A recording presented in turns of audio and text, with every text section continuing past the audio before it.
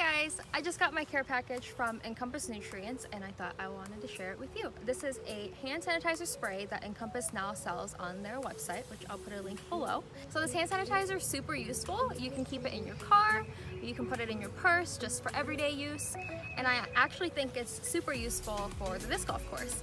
You can keep it in your disc golf bag, and if you're kind of a germaphobe like me, when you're done holing out on the basket, you spray some on your hands, and you feel much cleaner going into the next hole.